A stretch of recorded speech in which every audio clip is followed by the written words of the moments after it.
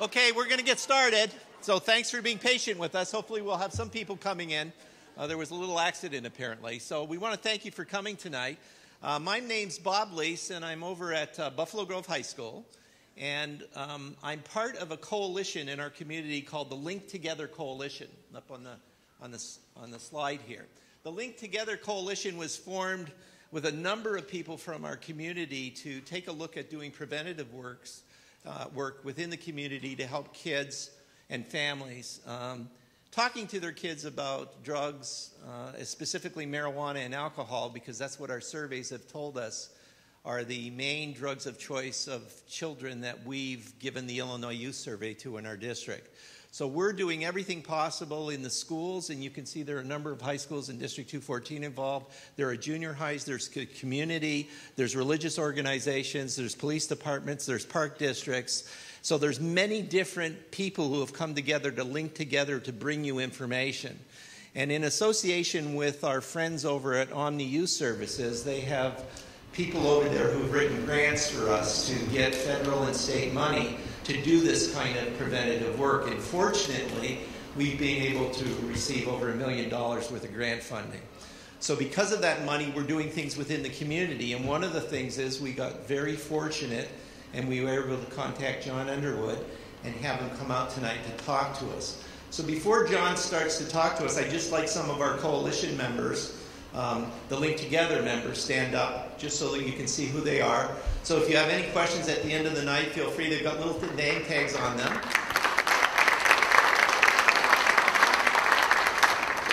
I need to tell you that these people volunteer a lot of time and energy for the good of your children and for the good of our community. So we're, we're very thankful to have them involved with us in District 214. So here we go. I talked to John when I first came in, and I had about probably five pages worth of notes with all of his accolades and his uh, vita. And he said, Bob, don't, don't use all that stuff. He says, uh, just introduce me because I'm going to tell him all about myself and my specialty. So I, I do want to thank John for coming out tonight. Um, he will give you some information that I think will uh, feed your minds and feed your souls to do some deep thinking, not only for those of you who are athletes, for perhaps for some of us who are not, about finding our peak performance and living a healthy lifestyle. So without further ado, thank you, John Underwood. Thank you. Thanks. And, uh, thanks. And I always, uh, I always start out by saying my all my opinions are absolutely free of charge. That comes with comes from my regular routine.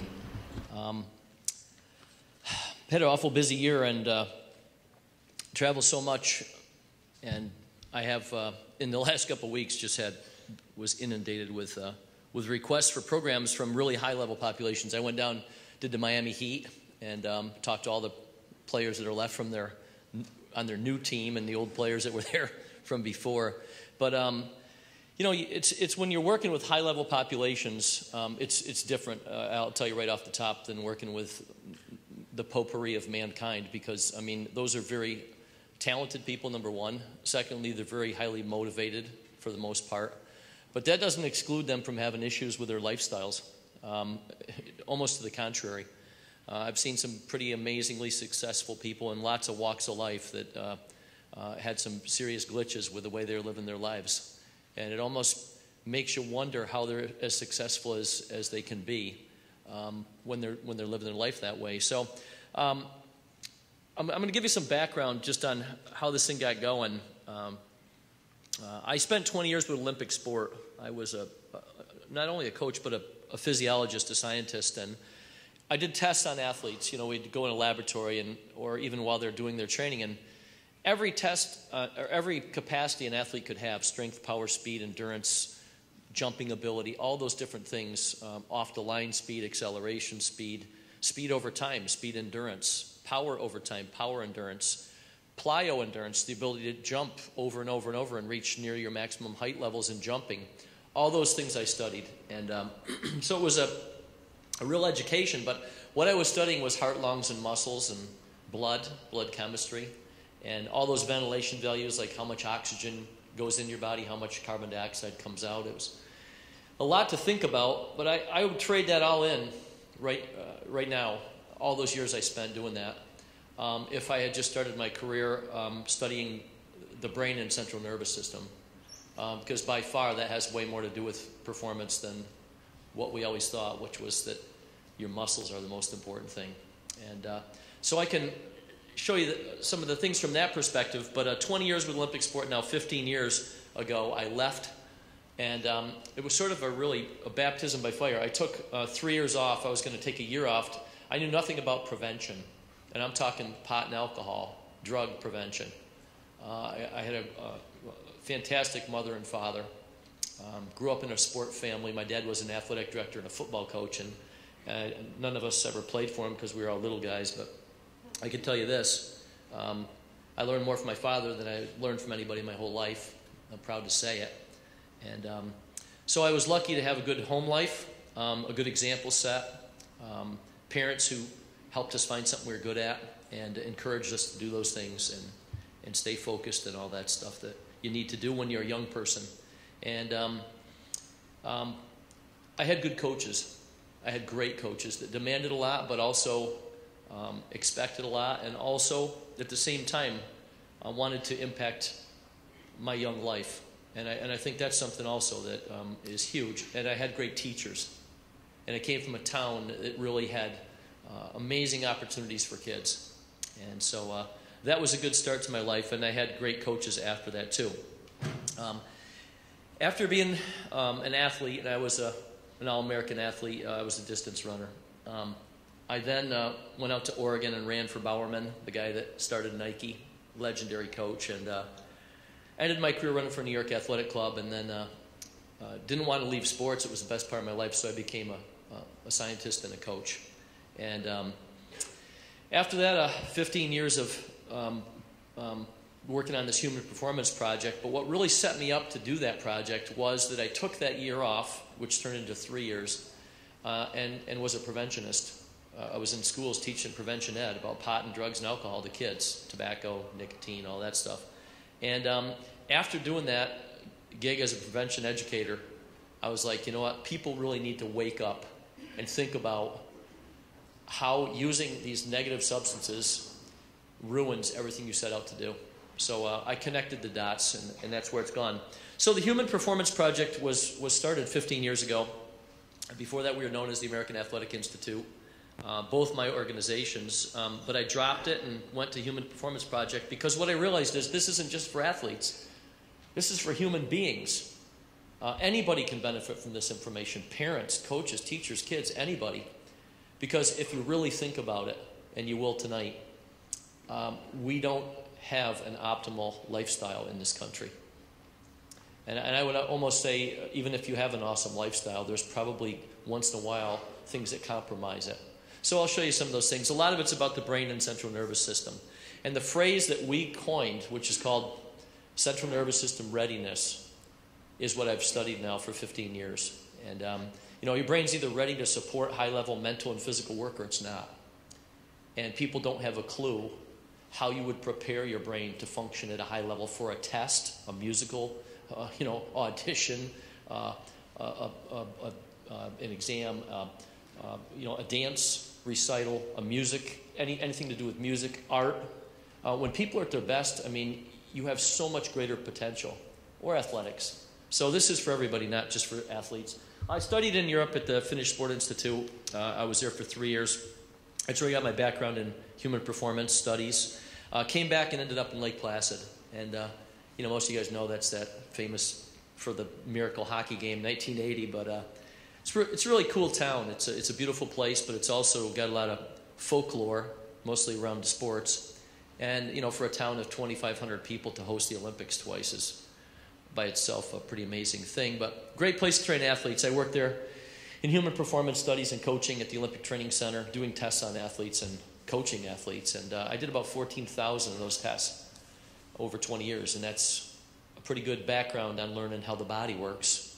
Um, I also coached the whole time. I had 28 Olympic athletes, and I actually coached five medalists. And uh, so I, I, took it seriously, but we got some, made some great things happen. Um, this program has now been used by, we're approaching 700 colleges. Uh, I'm going, my next gig is actually Georgia Tech, and uh, it's actually my second trip down there this year. And, uh, And now the next day, I found out that I have to go to Baylor to talk just to their basketball team. And uh, they have a pretty phenomenal women's basketball team. So, uh, working with the SEAL project, um, literally the icing on my cake, nothing will top it in my career. Uh, to get to be around those people, even for 24 hours, um, most of you would just be shaking your head saying, wow, where these guys come from. That's, how, that's what I thought. I thought I'd seen some pretty tough athletes in my time. And um, I got down there, and you know, you want to see what serious is.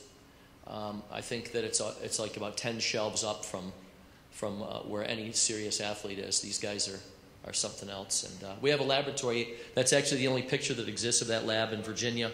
And we do tests on these guys, just like you do tests on athletes for all the capacities they have to have for the things they do. And uh, the extremes that these guys go through just to become a SEAL, um, really, uh, the average person, you can watch a show about it. Um, you have no idea these guys, they don't, a lot of them just don't have breaking points all, all the way to the, the end of the line if you know what I mean. If, if you look at these guys up here, you think, what are these guys doing? They're trying to get warm because they hypothermiate you to try to get you to quit, you know, which they try to lower your core temperature so you just say, I can't do this, and you give up. And um, they're just amazing human beings, and they're, they're in a whole different circuitry than, than most humans. Um, I said this tonight to somebody in here. I said, um, We've done studies on those guys to extremes beyond what human beings are capable of handling mentally, physically, emotionally. And uh, I can say that we knew of this before even doing those studies. Uh, no one performs better under stress. No one, not even Navy SEALs. Um, some people just perform better than others, and these guys perform the best of anybody. And that's not a stretch. Because we've done studies now and found even enzymes, neuropeptides in their brains that they have like 30% more of than normal people. So, so they're tough guys, that's just part of it, but they're not just tough physically, they're tough mentally, emotionally, spiritually even. And um, I got credited in a Sports Illustrated article with being the person that they put in charge of changing the way we train the SEALs, and that's been going on now this project for eight years, and uh, I'm really proud of it. I, um, I, I can tell you this: this is my other regret that I didn't get in this project early and spend my whole life down there in Virginia. So, the most significant experiences I've had with anybody, athletes or anybody, um, has been with SEALs, not, not with athletes. And uh, the methods that they use to train these guys um, are just head and heels above anything we're using uh, with athletes. So I guess it's because if failure is not an option, it puts you in a whole different frame of mind for wanting to be a little more serious about it and motivated for it and, uh, and successful in what your outcomes are. So that's, uh, that's that. Um, what can this program do? It, it, it isn't about a presentation. Okay, tonight we're having a presentation. It's about a program that's free, and I'm not, I'm not, that's not a stretch. We give you the materials to run this program in your schools so that your kids understand how to be more successful by the way they're living their lives. Studies on sleep, studies on sleep, studies on diet, nutrition, studies on how to deal with stress, studies on the negative topics that people don't like to talk about. You know why prevention people don't go in and just start talking about pot and alcohol or even showing you that 45% of your seniors drink and almost 30% of them smoke dope right here? I saw the data. It's in the booklet tonight. Read it. All right? That's not any different than any place else in this country. You know why you don't start just talking about that? Because people don't want to talk about it. It's negative. The, the fire doors come down. So we talk about lifestyle because that's a lifestyle glitch. And then maybe somebody will say, hey, you know what? I, I care about this thing over here. I really care about it. And I know this isn't good for me, but I'll somehow justify it. Lack of sleep, crappy foods, pot, alcohol, too much stress, too many things going on in your life. So when you narrow down these things and start to deal with some of the negatives, maybe it's easier to deal with by talking about the whole context of the way you're living your life. Because even as adults, sometimes we need that reality check. So it can help you academically, athletically, act, activities wise music, art, dance, anything you care about or, or are good at, you're putting time, effort, and energy into. And even socially. Think about how people that have these problems, how it affects their ability to function with human, human beings socially. Creates all kinds of problems. So, so I'll, I'll start out tonight by just giving you guys a slant on time. Um, everybody's probably heard this little things make big things happen. I mean, I remember coaches telling us that when we were young athletes. And, you know, little things that you take for granted can make huge things happen. Um, mostly, that, that's a statement about time. Um, you know, I, I, think a guy from Russia, he was the father of Russian sport, his name was Matveev, and um, he, he made this statement. He said, The single largest factor in athletic development is time, or any development, it's time, right? The more time you put in, the better you get at something. Um, but eventually you run out of time. And I can tell you one venue where you run out of time really quick, and that's being an athlete. Your best years come, your best years go, it's over. Uh, clearly, by the, your late 30s, if you stayed in it that long, uh, you know, hormonally, you, you don't recover as fast. Um, what do you think I was discussing down there with the Heat? You know, I mean, some of their best players are now five or six of them are in their, you know, heading for their mid 30s. You, you just can't keep doing it the way you were doing it when you were at your best. So how do you get a few more years at that age? All right. So think of four years of high school. That's that's the thing I've used for Olympic athletes. Four years is 1,460 days or 35,040 hours, or you can break it down if you want to minutes. Uh, eventually, you run out of time. The day comes that you wanted something amazing to happen, and it, it's either going to happen or it's not. And um, at that point in time, you start to realize that every day mattered and every day counted because now it's behind you. And that's the same for everybody, whether it's your ACTs or uh, your final exams or the letter that you got, and here's the day, and you didn't get in the school you wanted to get in, or you tried out for something and didn't make it, or you did. Um, you run out of time. So here's some more things about time. This is the Olympic final. You know, Bolt's pretty unbeatable even still, even with his glitches, with his injuries and stuff. But look, first to last, that much time. That's not a lot of time from 10th place or 8th place to, uh, to first. Or a 30K ski race, you know, 18.6 miles uphill, downhill. Uh, it's a brutal sport. I actually coach some athletes in this sport. The highest endurance, endurance capacity of any athlete. Go 30 kilometers and 18.6 miles through all that and lose by a, a, foot, you know. Um, the men's downhill, two Olympics ago, um, first to 10th place, 57 hundredths of a second. And no one cares who got 10th, right? When we watch TV, they're not going to have a, a whole thing about, well, here's a guy in 10th, here's all about his life, right? You're going to see some stuff about the guys that win and get silver and bronze. And uh, look at the separation seven hundredths, two hundredths. Look at the end here. Um, two hundredths, three hundredths, one one hundredth of a second. I mean, you know, being 10th in the Olympics is nothing to be ashamed of. That's amazing. Um, but I'm saying time is really small. Or Michael Phelps's uh, medal that he got by literally the, a fingernail. You know, and this is one of those eight medals that would have, you know, been seven seven golds and a silver wouldn't have been the same as eight golds because Spitz had won seven golds in 1972. So I mean, it's a they say it's one of the most famous pictures ever taken about sport. And uh, so, small things make big things happen. Um, we did an analysis of sport and found that um, every time you go to do your performance in sports, you don't have your best performance. Right? We know that. You don't go out tonight and score 30 points in basketball, and tomorrow 32, and the next day 34, and the next game 36. It doesn't go like that. If it did, you could get, go down and work, play for the Heat. So here's how it goes. Um, we analyze sports where performance is performance. So I'll give an example running, throwing, jumping, swimming, sports where you know your best time as soon as you cross the finish line. Oh my God, I was way off today, or oh my gosh, I just ran faster than I've ever run in my life, right? So that's a definitive. So we looked at sports like that, we analyzed results for a whole season, and we threw out any results that were, like, for instance, bad weather, stuff like that. And we ended up finding that there was a range of performances at about 82 to 87% that was their average performance. We didn't want to put it at one number because there were too many in this range. So if you prepare optimally to play uh, uh, your sport and you go out there, I think that you can have a performance anytime you want between 82 and 100%. And I'm going to say this the 100% games are going to happen five, ten times in your whole career, even if you stay in it a long time. I ran, when I was a runner, I ran actually a thousand races. A thousand. That's a long career. And that's a lot of races, believe me. And I think I probably, if I thought about it long enough, I could remember them all. And I can say this, there was five races that I remember that were just, I couldn't have went any faster, couldn't have ran another step. And I remember those five races out of a thousand. I can tell you right now where they were and who they were against and who probably finished behind me. Here's, here's a football team. So this is a little different for you guys in team sports. So think about this. And this is a stretch, but just hear me out. What if a team, at the worst, was out there 82 to 87% because they totally prepare to be out there at their best?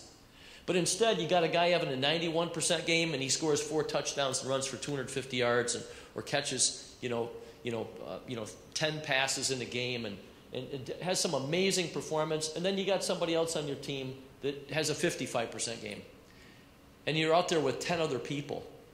Well, this is how you win games or lose games, especially in team sports. What if everybody cared enough about what you're doing that everybody was out there at their best? You'd win more games. There's no question about it. A 500 team would be a 750 team, and you'd be going to state playoffs, right? Or a 750 team would be a, a 1,000% team and, and, and maybe win a state championship.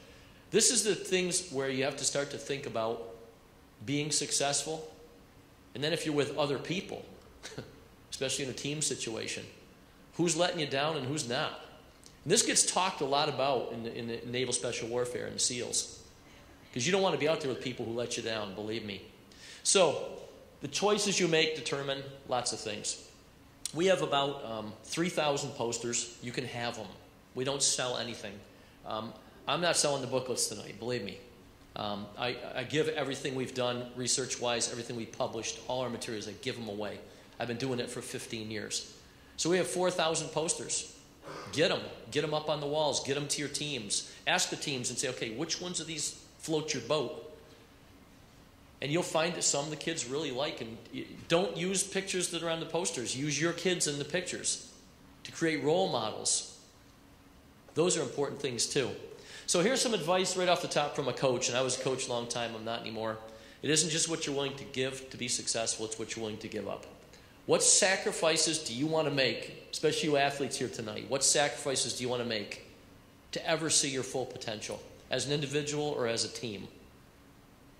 Or as a businessman or woman? Or as a teacher?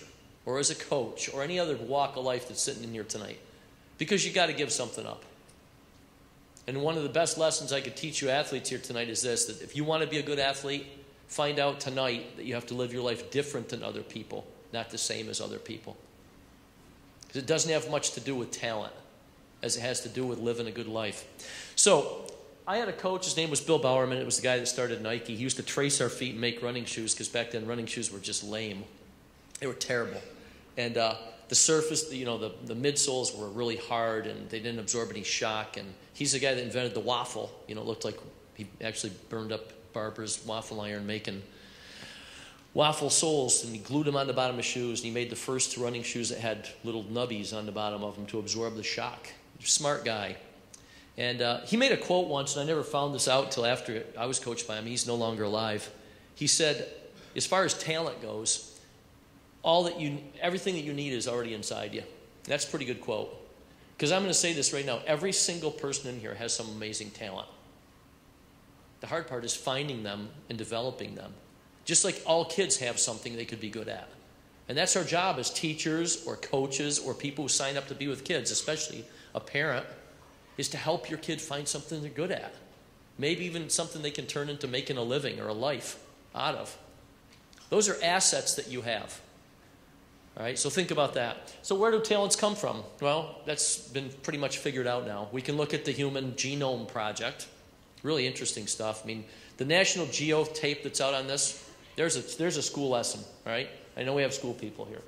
Make the whole school watch the Human Genome Project. Wow, what a perspective on how we're all different, but we're all the same, and where you get all these amazing things from. So, if you want, you can even figure out which parent gave you those from their lineage, gave you those talents and abilities. You know, we found out about 8% of kids have physical attributes that would predispose you to be a, maybe an elite athlete or a Navy SEAL or play for the Heat. I don't know. Think about it. Eight out of 100 people are talented physically. What's that mean? They might have the uh, amazing body type. You know, I mean, every time I'm at the Olympic Training Center and the volleyball teams are there, I feel so small, you know, or, or with the heat, you know, you just, you're like looking up at people. So, um, you know, your body type, your heart and lung size, your muscle fiber type. You know, you got a whole bunch of fast switch fibers, man. You can do explosive work for real short periods of time. You can be fast, you can jump, you can have incredible power outputs. That's genetic. You're born with that. So if I go to a school and I say, "Hey, how's your sports?" And they go like, "Well, you know, we just we don't have a lot of talented kids." I just start laughing because I say, "Okay, well, give me give me 100 kids. We probably have 100 people sitting here, all right? And I know that out of 100 people, if I'm looking at young people, that there's at least 8 and then you're going to have those amazing years where there's a group of kids that comes through and it isn't eight, it's like 25 or 30. That happens. And that's when your school will have some championships and some awesome teams. The unfortunate part is that sometimes you'll be wondering where the eight are, all right? So it has, has something to do with talent, but that's a gift. And don't you think there's a percent in the human population from music and art and all those things? Because not everybody can do it. Not everybody can be an elite athlete, has physical attributes that would ever be able to be used for that. There's some people who are really good in math and some people aren't, right? I was one of the ones that wasn't, all right? So you think about all those talents. And then you got to be patient. You know, there's no shortcuts to any place worth going. I mean, that's a great quote. And I'm a quote person. I think about the problems we have in an impatient society, right? and how we take everything to that extreme now. Or how about this? The, the quickest way to the top with the least amount of investment or effort, right? And I see a lot of parents and adults going, yep, that's where we are. And how, how easy kids will quit stuff nowadays for you kids here tonight rather than work at it to get better at it, to get better at it, to be, get better at it. And maybe that was your talent. You're never going to find out when you just give up so think about it. It's been written about it. I, I always ask how many people have read this book. Let's have a census. Okay, here's a good book from Coach Underwood's book club. Hey, I'm not selling this either, but he is. Daniel Coyle, he's a good writer. He's written a lot of great books. The Talent Code Unlocking the Secrets of Skill in Sports, Art, Music, Math, or just about anything. That's the subtitle. And you know what the book's about? It's about in all walks of life, if you follow the talent code, which is in this book, you'll be successful. You'll find a way to take something you could be good at and turn it into something you're good at. But guess what you can't leave out?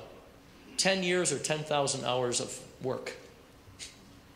And he says it'll stand up in any venue that you reach elite level over time. 5,000 hours gets you to mediocrity. Another 5,000 hours gets you to strong capability. And then you start to see that, oh my God, I could be good at this. Think about that statement. So, this is like a pyramid. If you, this is a chart actually written on this topic. If you spend one hour a day doing something, you could maximize your uh, talent in 27.4 years. Well, if you're an athlete, your best years will for sure be over. Right. Um, if you spend four hours a day, you can get there in 6.8 years. You think this isn't true? I've seen it. In, have you ever watched women's gymnastics on TV? Little tiny girls 12, 13, 14, 15 years old, the things that they can do. If you didn't watch it, we just won the world championships again.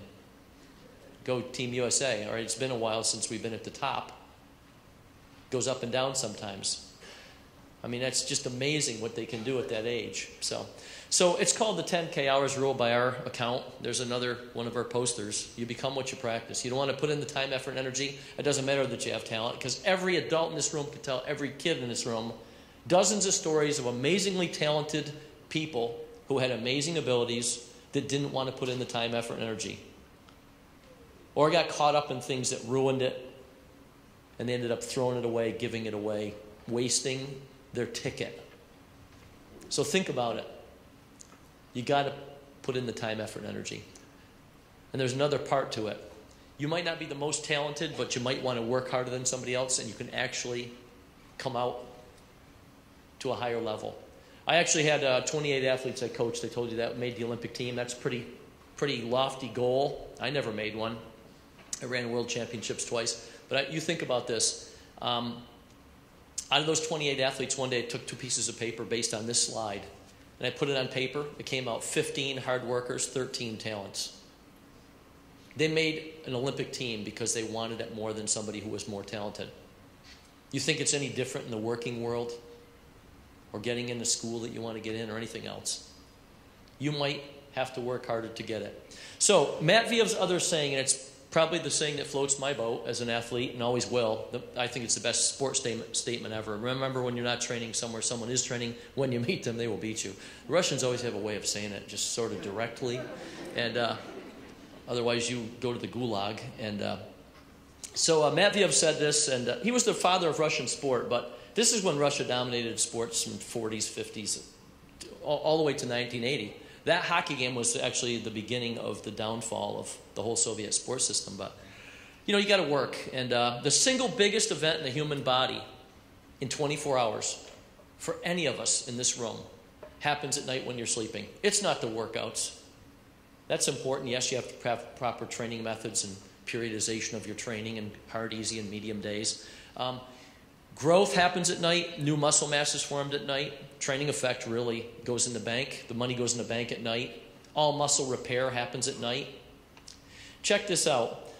If you went to bed at 10 o'clock at night, any of you athletes in here, because my career is over, all right, about an hour and a half to two hours after you fall asleep, you get a huge release of human growth hormone, and that's when all this stuff in human muscle and the effect of training in human muscle happens. It's called early sleep. Not much happens between midnight and about 2 o'clock in the morning, and then from 2 o'clock in the morning to 6 o'clock in the morning, all your mental and psychological repair happens, all your neurological repair happens. All the stuff you learned in school during the day that you need to remember so that you can ace the next test that's coming goes from short term memory to long term memory between 2 and 6 in the morning. Wow, is that important for schools? You better believe it. So, what if you don't sleep enough? I don't know. Check this out. Here's the amount of human growth hormone release doing a morning workout. Here's the amount of human growth hormone release when you do an afternoon workout, like you guys do every day from 3 to 5 o'clock. An hour and a half to two hours after you fall asleep, this is the amount of human growth hormone you kids release. That's when babies grow, double in size the first month, month and a half, two months, right? They weigh six, eight pounds. All of a sudden, they weigh 15, 20. So, all you kids, and I see young athletes here tonight, if you want to grow, if you want to get bigger, and first your bones will grow and then you'll start putting on muscle. The more you sleep, the more you grow. How's, there for, how's that for a research study? Because the single biggest event in a human body in 24 hours physiologically is early sleep when you get this huge release of HGH. And after you go through the growth spurt, then you start putting on muscle mass. So, all you athletes that are older athletes, like you guys up here, that want to get bigger, and put on the mask so you can be better in sports, all right? If you don't sleep, it's, it's all lost. There goes all your training effect because you'll never have the muscle mass to increase your capacities. All mass gains happen. That means you have to have a set time for when you go to sleep at night. So if I go to sleep, if I go to sleep tonight and I go to bed at um, uh, my normal sleep time is 10 o'clock. This happens 11:30 to 12. Next night I go to bed at 2 in the morning. It doesn't like move around for you because of your crappy lifestyle. You just lose all that training effect. So, oh, the great workout you did today, that's, that's awesome. There's the stimulus for this to happen. At night, you don't get the HGH release, it doesn't happen. So, this is for a human being. This is how kids grow. This is how humans grow. This is when you repair all the damage to your muscles. And as you get older and you don't have the hormonal system to repair muscle mass, for you adults here that work out, it's even more important at that point in your time because HGH is the single biggest factor in muscle repair or muscle maintenance, maintaining your muscle mass. That's why you see as you reach your later years, my dad's 90 now. He used to be this great, big, strong, beastly man, and now he's skinny and little, and you know, your muscle mass doesn't replace itself. This is a slide I just was down to Georgia Tech, and this is morning workout, afternoon workout. This is actually a research slide. Here's the HGH release. And HGH only goes one direction your whole life down and down and down from the time you're born to the time you're 90 it decreases and decreases and decreases and decreases. But it's at its peak levels right about from where you guys are now till about age 23. So, anyway, that's the story on HGH. Another thing is this brain science stuff. I told you, if I could go back and change, I know now that heart, lungs, and muscles aren't the most important factor in athletic performance. It's the brain and central nervous system. It is the single biggest factor in performance. If you want to perform well as an athlete, you have to have a very highly rested brain. All the signals for everything you're going to do is coming from here to all these other areas. All right, so think about that. Another thing is we could have a more positive outlook on our futures. You know, I mean, when you look at like the negativism of human beings, and this comes from sports psychology, and I threw it in because I want you to understand this. Probably every athlete has made this statement at some point in his career about a team or an individual event, depending on what kind of athlete you are. Oh my God, we're going to get killed today. You bet you are. It's probably going to be worse than you think. Because your outlook alone ruins the possibilities for you to be successful. Look at some of these negative comments. Most of these things have happened. Um, but negative thoughts, they say for every positive thought, humans have 16 negative thoughts. And we all probably know somebody that has 50 or 100. Um, what was that thing they had on Saturday Night Live? What was it? The, some was it Debbie or something? Some lady, Debbie Downer, right? Just all negative all the time, right? Um, this is brain scans before competing. Do you think you're going to lose? Do you think you're going to win? All right, so not much brain activity going on if you have a negative outlook. If you have a positive outlook, hey, come on, we can beat these guys. You know, come on, let's. I'm taking this guy out. All right. Just your train of thought. Uh, how about this? You know, um, I'm going to flunk this test. Right? Oh, okay. You're, you're, helping yourself do it. That's good.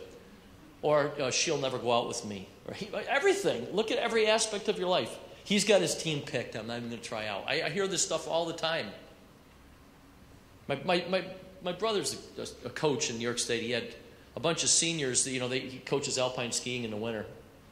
And uh, I wouldn't be telling the story, story in Florida, but anyway, um, these kids were seniors, had the first ski off and only five kids can race varsity, so all young athletes beat all the seniors. So they come in on Monday and turn in their stuff. We quit.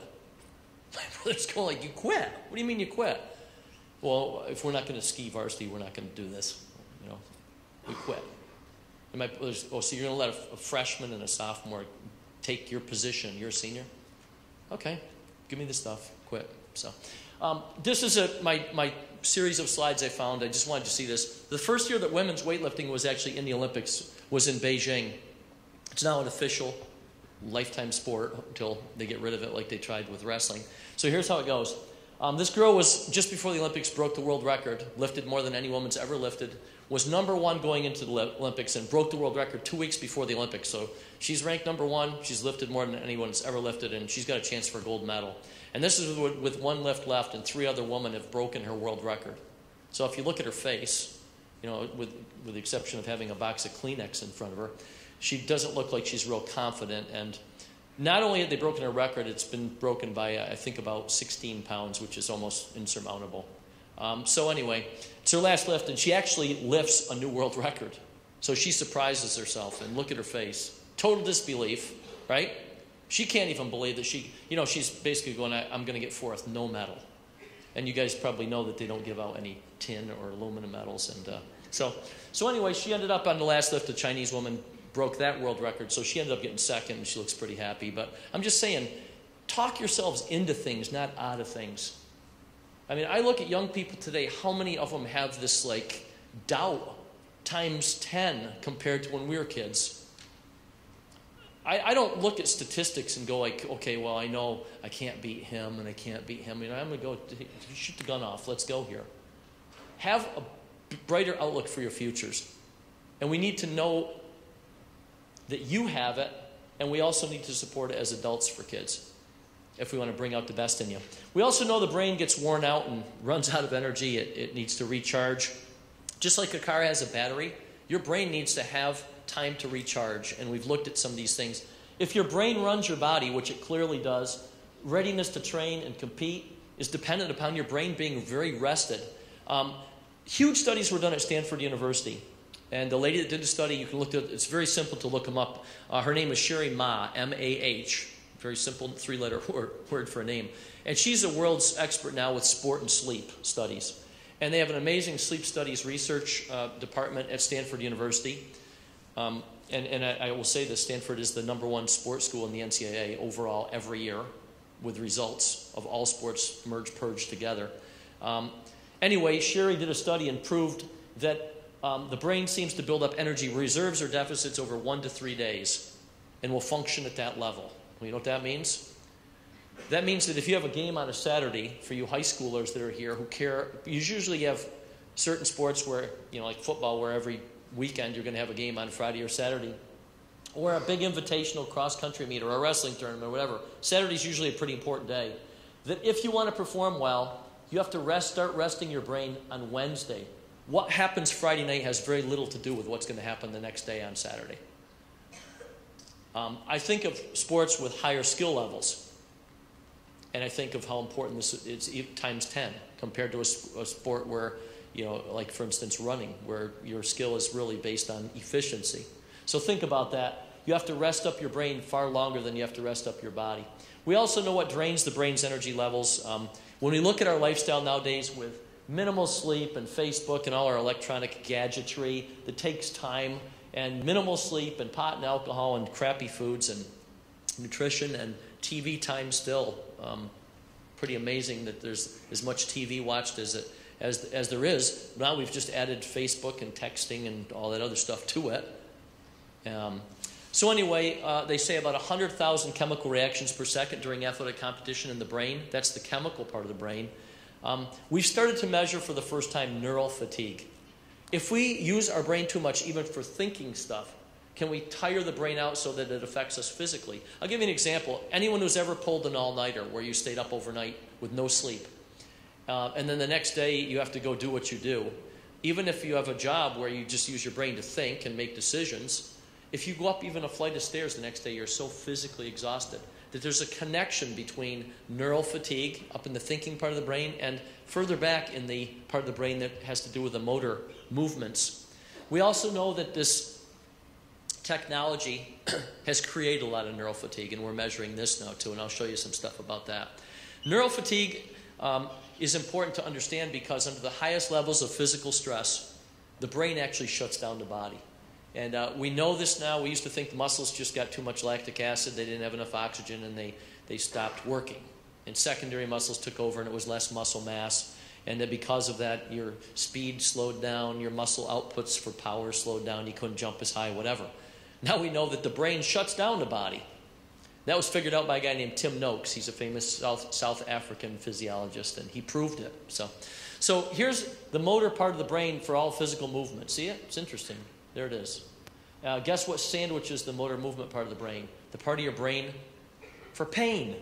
So when you feel the pain, what do you do? You back off, you give up, you slow down, you say, Oh, I can't do this, right? And I can explain this if you have ever been an athlete, you could understand this, or you young guys will understand this someday. Is that as you become a better and better athlete, as you do your sport more and more and more, you're going to realize that your pain threshold actually increases. You can stand more and more physical pain. And we've studied this all the way from young athletes with very low pain thresholds where you just go, I can't do this, right? And, and then by the time you're a senior, you're like, I can do, I can do stuff you can't imagine. And maybe someday you can say, hey, I, I, I, uh, I'm a Navy SEAL. I can stand more pain than anybody. All right, so there's, there's a progression of the ability to function movement wise when your brain is telling you to stop. All right, so that's interesting. Um, so we've also done studies with stress, like I told you, and social drugs and sleep. This is one of the first brain machines. Isn't that interesting? Um, this was the first attempt at an MRI machine, and of course it didn't work. It, the poor kid looked scared to death, and I don't blame him. Looks, looks more like a milking machine on his head. But um, anyway, this was the first attempt at magnetic magnetism that they were trying to actually look what's inside the brain and how it works. And um, you know, we've come a long way from there. We now have these, um, uh, this is called neural net. We have technology now where we can actually have very powerful sensors that actually can go subcranial through your skull to look at different areas of the brain. Um, and we've also done a lot with this Human Connectome project. And we got dibs on seeing this stuff before it was ever released for that National Geo article. But, you know, with these kind of things, they've now pinpointed where stuff happens in the brain with, look, attachment, romance, loneliness, anger, uh, pain. There's that pain thing I showed you that sandwiches the motor cortex. Um, empathy, sympathy, fear, post traumatic stress. You think we haven't used this with these soldiers? I mean, it's just amazing. You know, we're, we're trying to pinpoint okay, where's this part of the brain that this, all this stuff's going down so we can deal with it. Um, and some scientists in Finland just recently made a suit that shows, it's actually called an EMG suit, where we can actually see which parts of your body activate when you're feeling different emotions. Um, like, look at anger. Um, here's anger up in the upper left hand corner. Like, when you get angry, don't you feel like your arms activate? Yeah, they do because that's your, you have to either defend yourself or be prepared for what's coming, right? I mean, you feel, you feel it go right down your arms, and that's just a normal, um, a, a normal reaction. But look at look at love, look at depression, um, all these things. And so they took and they put this suit on these people with all these electrodes, just like the neural net. And they said, okay, like what parts of your body activate or uh, turn on when you feel these emotions? Um, I, I, like the one for pride. You know, like when you're when you're proud, you do something good, you feel like you put puffing your chest out and holding your head up high. I mean, you know, you, you guys that, are, that have ever, you know, maybe adults more than kids. I, I always say this: everybody remembers the first time your picture was in the newspaper. Hopefully, it wasn't in a mugshot. All right, so here's so here's the deal. You feel you feel proud. You're like, my pic. That's my picture. I'm in the paper. I mean, I remember was an athlete, uh, really young in little league or something. And I was rounding first base or something. And you like you cut it out and you put it on the fridge or whatever. You're proud of what you do, and that turns into other things like self-respect and and you know maybe influences the way you're living your life. So this is pretty cool, cutting edge technology from Finland that they they made this stuff. Um, here's a young athlete practicing skills and an athlete after they've mastered a skill. Like I always say, you know, you've never ridden a bike until you've ridden a bike. You've crashed on a bike, you've crashed and burned on a bike, you've gotten all scuffed up. But then one day it comes that you integrate the, the pedaling and the steering and the balance. And oh my gosh, I'm riding a bike by myself. That's a nice day for parents, too. So um, we know skill development actually goes all the way, improves all the way up to age 21 and I, I, have these athletes, you know, elite athletes, college basketball teams and stuff, where they, I don't, I don't need to practice that anymore. I'm like, yeah, you do. You can still get better. So remember, skills, like all you young athletes here thinking, there's a lot of you. Practicing skills over and over and over. Yeah, it might get boring, but those are the athletes who will be real athletes someday. Um, and you keep practicing them up to age 21, just about the time brain development ends. Skill perfection, innovation, and skill efficiency uh, all the way to age 21. This is a study that was done by UCLA. It's called the UCLA Brain Development Study. Um, the Brain Science Center out there actually looked at brain development. What we're looking for here is blue uh, as a representation of a brain reaching greater and greater levels of development. They know from this study that a brain develops all the way up to age 21, then it's pretty much wired and prepared for everything you're going to do the rest of your life. Look at age five. This is up in the thinking part of your brain, but not much brain development. Age eight, not, not a great deal more, but look what kicks in when your hormones start to kick in. The whole body starts to just rage with development. Look at age 12 to 16, how much blue comes into the picture. And this is for every single one of us. We never understood this when we were kids, but a lot of this is dependent upon the same things I'm talking to you about tonight sleep. What if you got kids that are sleeping four, five, six hours a night now because of all their stuff? You think this is going to just happen? or happen later, maybe. Maybe that's another theory. So think how important it is, brain development wise, from age 12 to 21. All these different things are really considered. This is the whole study. Sped up into a matter of seconds, this is a brain from birth to age 21, reaching greater and greater and greater levels of ability or function. I mean, that's just phenomenal stuff. So think about it. Age 12 to 21 is the second biggest growth phase in brain development. And then eventually our brain wears out. This is for you adults, right? As we get older, our brain actually, just like a battery runs out of charge, our battery starts to just not be rechargeable. And that happens as you age. Anyone who lives to an advanced age, 60, 70, 80, your brain actually starts to reduce the ability for it to regenerate and it degenerates. There's no question about it. Um, this is a healthy 15 uh, year old doing a simple memory task. This is a heavy alcohol using 15 year old doing the same memory task and their brains just have been damaged to the level they just don't produce any brain activity anymore. So these are just things we can show now that we never could show before. And you know what we had in the old days for this slide? That's probably not real good for you. You know, that's uh, you know, this is science. It's like if you want to convince somebody it's not good for kids to be using a lot of alcohol or marijuana or drugs that do this to your brain at this age, structurally and chemically and electrically, dampening it down. Um, that's a pretty good study. Um, we also have looked at some amazing other things, and this is a good one for you adults too. Um, if you notice, this brain on top is wired sort of front to back, and this one's sort of all wired side to side up front, like this. You know what these two brains are? At, on, on December 2nd of this year, in front of the National Academy of Sciences, they actually figured out that women's and men's brains are wired differently. Like we didn't know. All right, so, so uh, And I would even say that with my wife here. So here we go. Um, female brains are wired front to back longitudinally, and men's brains are wired very tightly up in this motor part of the brain. Geez, I wonder why that is. Because in those original developmental phases of the male brain, with our hormonal system, we're much more geared for gatherer, protector, you know, hunter, all that stuff, all the way from ancient times till now. Um, and, and that's just the way it is.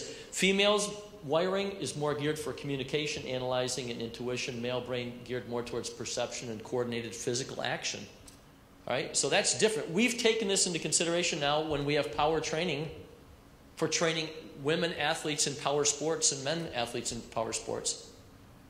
Totally different as is even reaction times. So we're taking this all into consideration. So during this Human Connectome project, they actually came out with a video. I just want to show you uh, because it's so amazing to see. Uh, this in your brain, you have 100 billion neurons or brain cells, and this is actually 7 million of your 100 billion brain cells. And since I don't see it on my desktop, which is not anything different than normal, um, we will use the capacity um, of typing in a keyword and finding it, except we have to spell vid right. Um, and um, hopefully it'll play. This is 7 million brain cells firing, and you have 100 billion, so you can imagine what that would look like. This is where we've come from the kid with a milking machine on his head to this. It's just incredible. And when I look at this, I think to myself if there's anything that you should appreciate in your body, including athletes, it's probably your brain and central nervous system. All of our efforts in human performance have turned now to looking at the brain and central nervous system. Matter of fact, in Finland, 14th to 16th, I'm speaking at the World um, Strength and Power Coaches Clinic over there, and all I'm talking about is the, the connection between the brain and the body for physical performance it's, it's going to be a barn burner. Uh, uh people are going to fall off their chairs. Because, you know, we know all about the muscles, but, and, and we know all about the hormones and all these things, but now we're going to connect the most important factor, which is, which is the brain. So, um, so anyway, I just wanted you to see that, um, and I think that that's a, a pretty cool thing to, uh, to know that it, that, it, that it is that significant and important. Um, these are some of these pictures of the brain circuitry from Human Connectome. Just like inside electrical devices, there's wires. Well, we have pathways. And interestingly enough, um, they're also layered, just like circuitry is layered in electronics. You know, there's not, it's not all on one flat shelf. It's all different layers of, of uh, electric circuitry. Look at some of these pictures of these circuits. They said that the 100 billion nerve cells in your brain, if they spread it out, would take up four football fields. So I feel humbled by my 4 gig flash drive with everything I've done for 15 years on Human Performance Project when I think of that what's in here would take up four football fields of surface area. Um, in that article that was in National Geo, and this is in a very recent version, see this giant snarl of circuitry right here? Well, you could pretty much guess that that's the area for a motor, your motor, co- motor, motor cortex for movement, for physical movement. It takes a lot of wiring. And uh, matter of fact, of all the wiring in your motor cortex in the brain for being able to move physically, your body, one quarter of all that wiring is just for your hands, to be able to use your fingers and hands. And uh, you parents would appreciate this. Um, babies, you know, when they're young um, and they're sitting in their high chair, remember these days, all right? Go back in time. Um, and you throw a bunch of Cheerios or something on their tray, and half of them are very soon on the floor. Um, the babies can't do this. They can't use their pincher and, and um, their thumb to pick stuff up, so they, they try to pick it up with whatever way they can. But I mean, think of your motor cortex at a quarter of it's just for hand skills or fine motor skills. But he, this was in the article, and this is in my program for the superintendent here. When I talk to kids about learning, a piece of your brain tissue the size of a grain of salt has the memory capacity of 25,000 high def DVDs. So you think about that, and then you think about not being able to remember 20 things for a test. All right, well, make your excuses, but I don't cut kids slack for excuses. I cut kids, uh, you know, slack for knowing stuff that their brain has easily the capacity to learn it. All right, So that's an interesting concept. Um, the total memory capacity of the brain, they estimated in this Human Genome National Geo article, was they say 256 billion gigs. So there goes again my 4 gig flash drive. Throw it out means very little. That's the same as about 1.2 billion PC hard drives or all the information that's in 15 major size uh, libraries. Like um, I always think of the Brooklyn Public Library, it's massive. Um, birth to age three, largest amount of brain development of your entire life. Second biggest phase, age 12 to 21. This is why people who do what these people in the front two rows do try to help your kids not get hooked up with pot and alcohol and any other drugs. That's why we're so concerned about kids middle school through high school through college using those substances. Um, connections are made at a rapid pace during that time. Anything you practice or keep doing, you make connections. Anything you stop doing, you lose the connections. How about this? I'm sure we have golfers in here. And in the winter, we probably don't golf as much, so it gets rusty, right? Or any other skill you could think of of something you do. Um, when you practice stuff, they stay connected. At the age of eight months, you have a trillion connections in your brain. There's no way to keep them connected. This is pre birth, even, that you have that many connections. So, because you can't possibly stimulate the brain to connect all those things and keep them connected, they start disconnecting.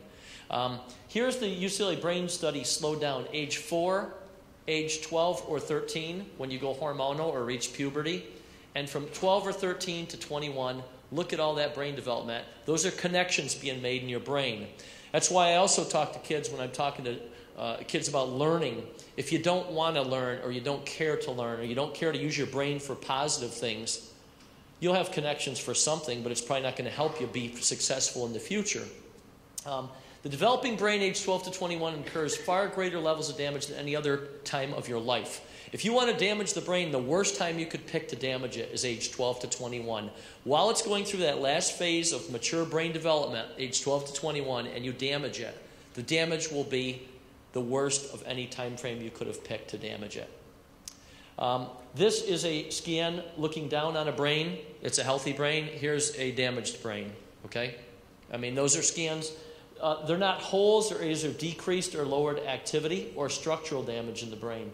So remember that. We also can measure activity levels in the brain. Here's a brain with activity levels. This is brainstem activity back in the back of your brain. That's what keeps you breathing and, and alive. Here's somebody before um, using alcohol. Here's the same person after using alcohol.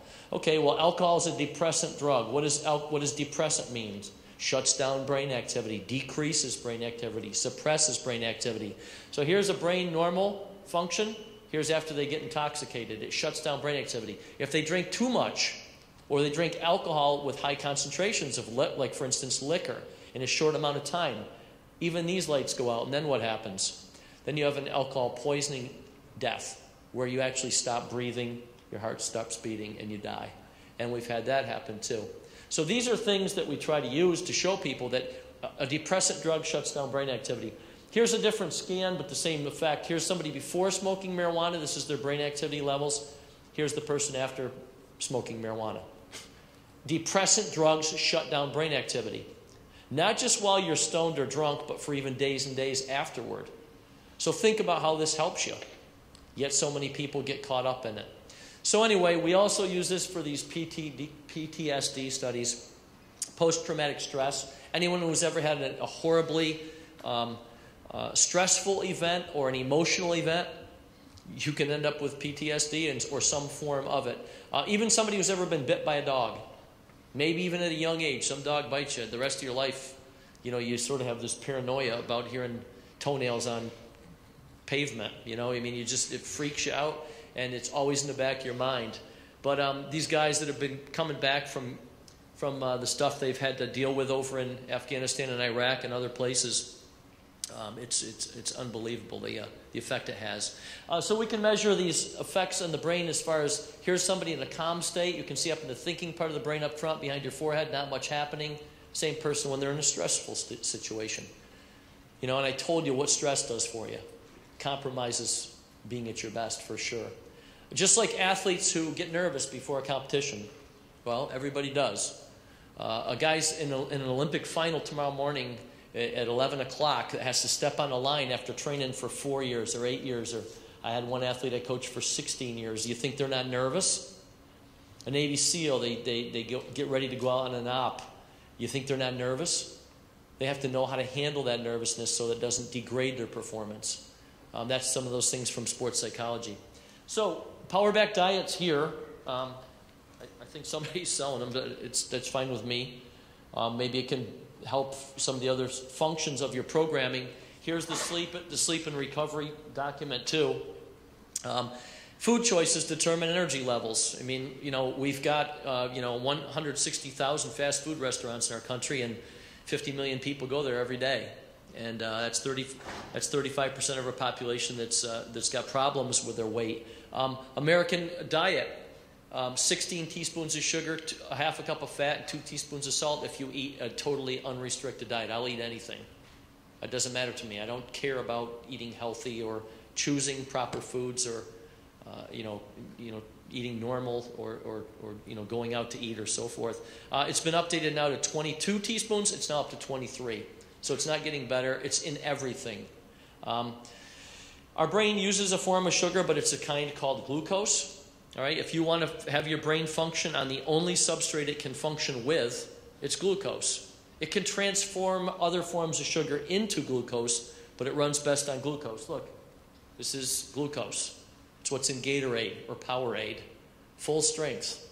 Sip it. Watch your brain function at a high level. Use fructose. Not as good. That's from fruit sugar. Use sucrose or corn sweetener or candy bars or Coca Cola. Not as good. The brain won't function on it. The only substrate your brain runs on is glucose. Want to hear an ironic one? The only substrate your muscles run on is glucose.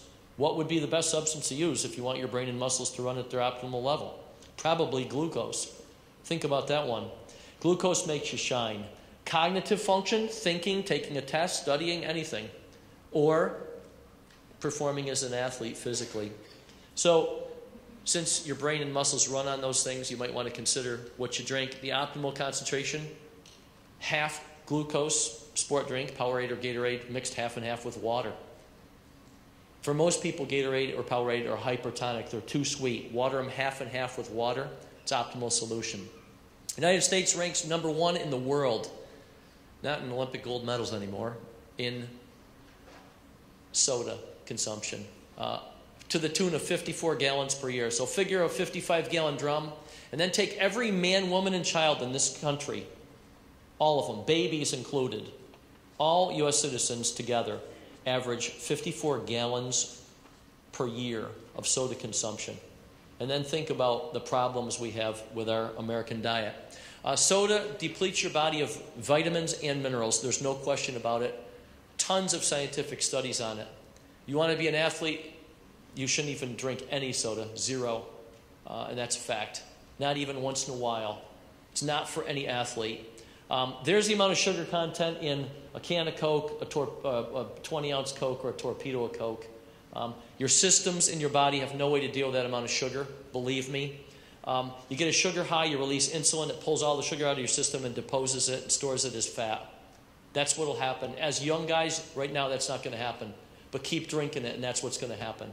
And you'll start to put that weight first around your waist and uh, your butt in those areas in, in your torso.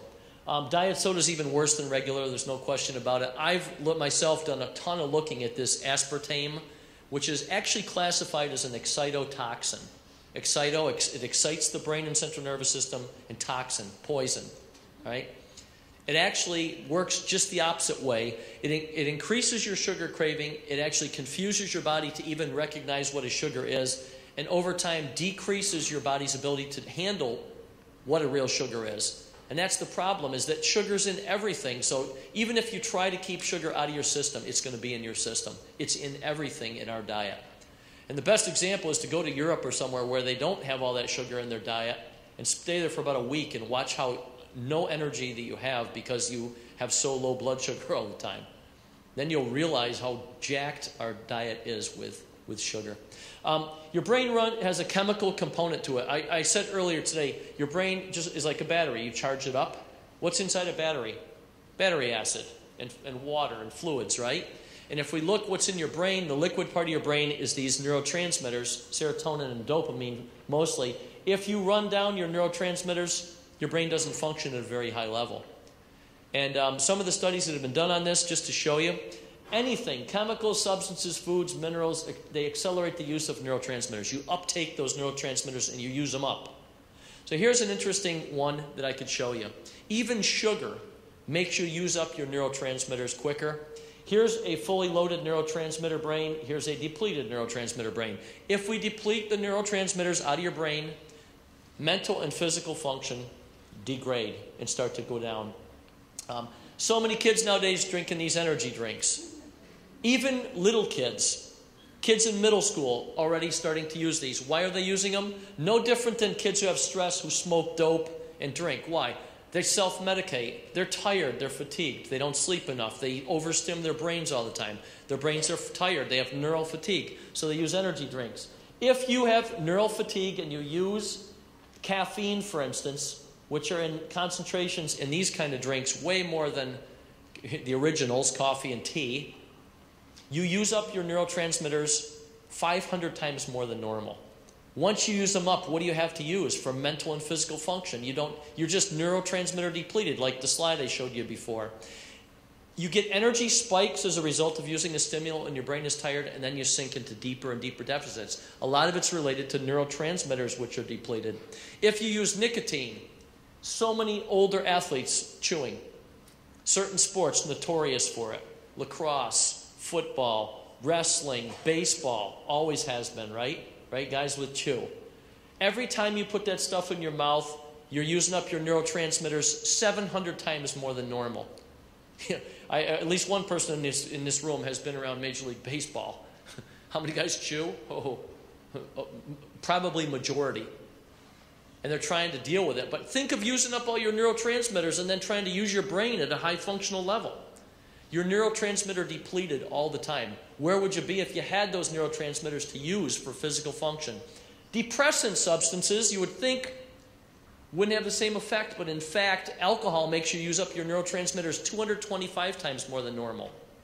Think of that. And marijuana, the least of any drug, 100 times more than normal. You know what the most was of all substances they tested in this study? Methamphetamine makes you use up your neurotransmitters a thousand times more than normal. And once you use them up, your brain is just trashed. So think about that. So it doesn't matter if we're using a depressant drug or a stimulant, the effect is the same. You use up those chemical substances your brain needs to have to run at optimum levels. Once you deplete serotonin, you have decreased brain and body function. Once you deplete dopamine, you have decreased motivation. There, that explains the amotivational syndrome, right? That we used to have a lot more of, where I don't care anymore, I just don't care. Things I used to care about that I just don't care about anymore. It's lost its significance. The ratio between serotonin and dopamine determines your mood regulation. Oh my gosh. Are we starting to connect some dots here? People who get into substance abuse, are they mood stable? No, their, their emotions run the whole gamut. What happens when somebody who, who's uh, addicted to nicotine can't have chew or, or a smoke? Are they like, oh, I, I think I'll go down to the the Circle K and get some more nicotine. No, they, you get frantic because you don't have the ability to control your moods. Same thing with people addicted to drugs. This, this explains it all. So here's the parts of your brain we use when we're up 16 hours a day thinking part, pre movement, and movement. Pre movement and movement. That's how we do movements. Coach Underwood wants to pick up the laser pointer. I'm thinking about it. I'm using the blue zone. I'm using the blue zone. I'm thinking about picking up the the laser pointer. And then I actually have already stacked a sequence of movements I'm going to make to go do it in the green zone, pre movement. And then when I actually go to do it, I use the red zone. There it is, I just did it. That's what you use all day in school to walk to classes, to do, to function, to do your job, all this stuff. And when we're at practice, same thing. We have a thinking part to being an athlete, and then we use the movement part. So there it is. We have too much information overload. I'm really trying to overload you tonight, so here we go we have to process information. Uh, half the human population is now under the age of 30. It's unprecedented. If we fatigue the thinking part of the brain, does it affect other parts of the brain? Yeah. It works its way back to pre movement and movement. My analogy you pull an all nighter the next day, you, you get tired going up a flight of stairs. Why? You're neurally fatigued, it affects physical performance. The amount of information we're now exposed to in the last 50 years now um, is, is more than the previous 5,000 years. We have information overload. How many times a day do you look at your phone? Come on. Do you ever leave your phone home for a day and just or lose it, and you're like, "Oh, what am I going to do?" You you freak out and panic, and then after about you know half a day, you start going like, "This is awesome." You know, I, I have so much more time for important stuff, right? Every piece of information that you're exposed to, your brain has to process. Do I want to remember this? Nah, I don't need to remember this, and so forth. I'm going to tell you a story. My wife is from Russia. Um, she had friends, and they had a baby that was a year and a half old. And um, they let the baby play with an iPad. And um, so one day their baby was in the kitchen, and it was winter, and she was looking out in the backyard. And um, there was a sliding glass door and she saw a squirrel and she put her hand on the glass of the window and she was trying to enlarge the view of the squirrel. And the baby was the baby was was a year and a half old. So that's where technology gets a little george orwellic for me. But anyway sleep. The importance of sleep on mental performance or physical performance. Um, i've published now it's if you look tonight you'll see that it, actually the pictures aren't purchased yet it says shutterstock on the cover photo it doesn't scare me they can they can sue me. I, I, I gave them credit for the picture. Anyway, um, they're being, it's being published by the Life of an Athlete Project for the whole state of New Hampshire. All high schools have to go through this program because they have said we got too many student athletes that are nowhere near their potential. So, anyway, you can get a copy of this, and it's got some great stuff in it. Like, for instance, the temperature of your room. Optimal sleep is at 67 to 72 degrees. Hotter than that, you won't sleep as well. Colder than that, you won't sleep as well, unless you live in a climate that's like that. Um, sleep in total darkness. Any light in a room will prevent you from getting optimal sleep. Just like if you try to go to sleep in a room where the lights are totally on, it's, it's, you're going to have broken sleep. Um, if you normally get eight hours of sleep and all of a sudden you get just one and a half hours less than your normal sleep, your brain alertness levels drop by 30%. I'll be seeing it tomorrow morning because I'll be in a school tomorrow doing my first talk at a public school at 7:20. I can't wait to see that one. I don't know what time they get up for school. Five? I mean, or, uh, who knows? Anyway, um, we did a study and found that the average middle school and high school athletes are now sleeping six hours and 40 minutes a night.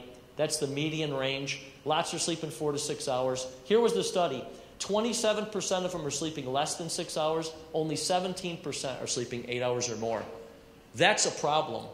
That's a problem for anybody, for school, for cognitive function, thinking function. That's a problem for athletes, and I know and can show you why. While you're asleep, you have muscle restorative phase, organ restorative phase, like heart, lungs, liver, all that stuff, and central nervous system restorative phase. I already told you. This goes down one and a half to two hours after you fall asleep. This goes down between 2 o'clock in the morning and 6 o'clock in the morning. That's if you go to bed at 10 o'clock. The Stanford Sleep Studies by Cheri Mah, every single person on every single team that was in the study, when they slept more than their normal sleep, their performance and stats went up.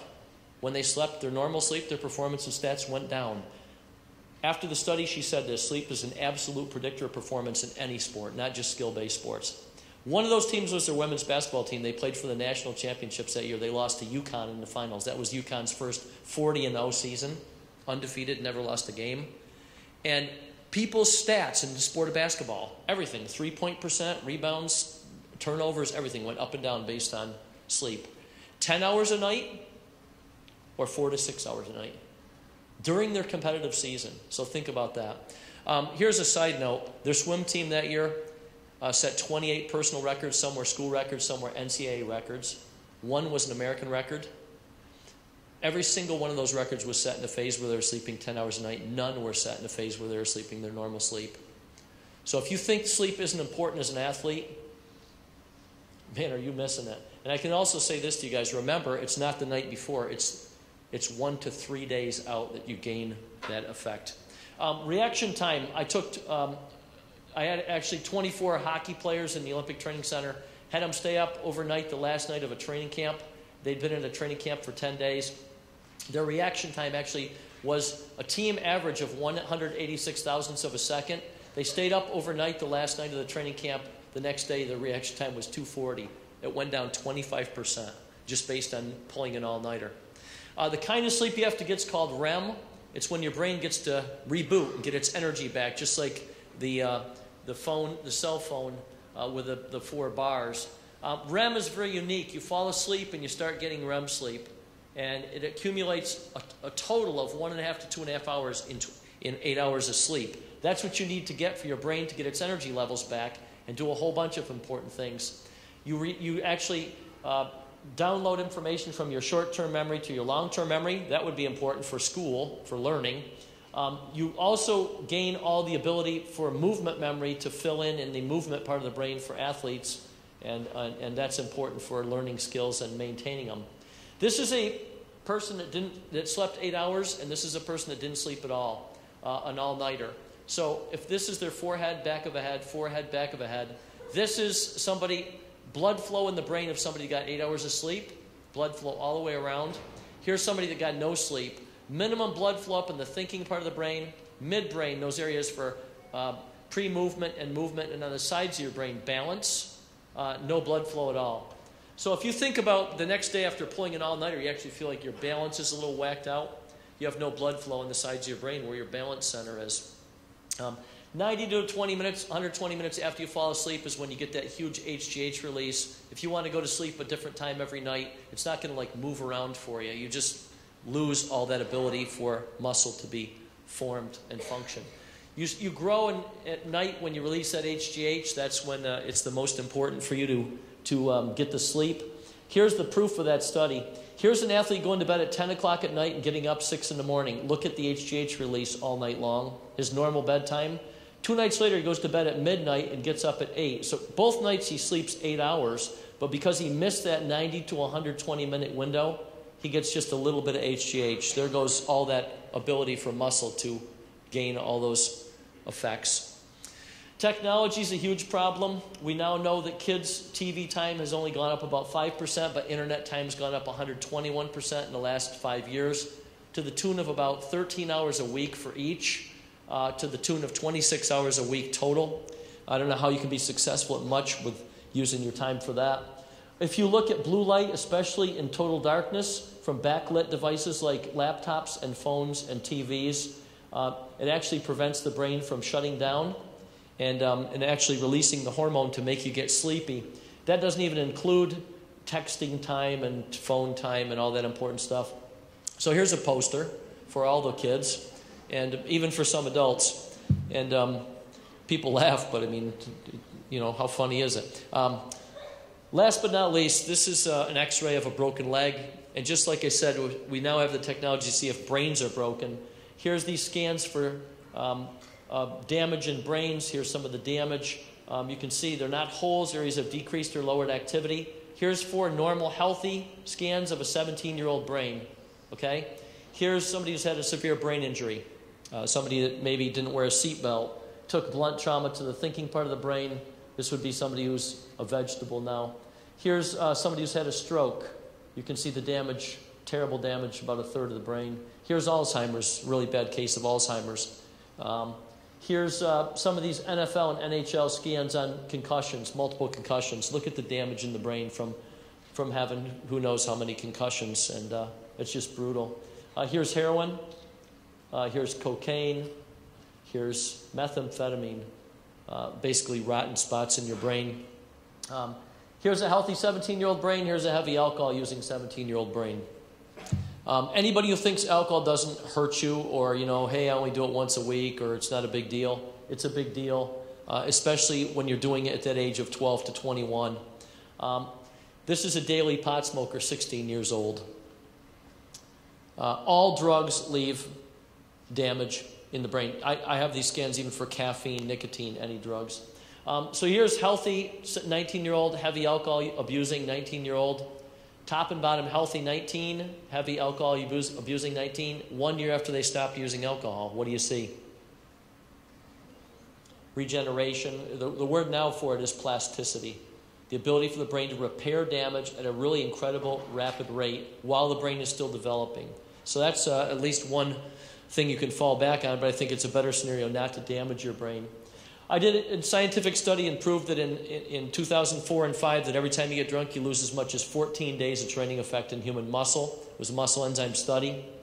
That's what put us on the map on this topic. Think of training good for two weeks and going out and getting drunk, and then you just wasted all that progress that you spent developing for 14 days. Um, this is actually a billboard in Portland, Oregon, to that effect. This is in New Mexico, where they have our program in all high schools statewide.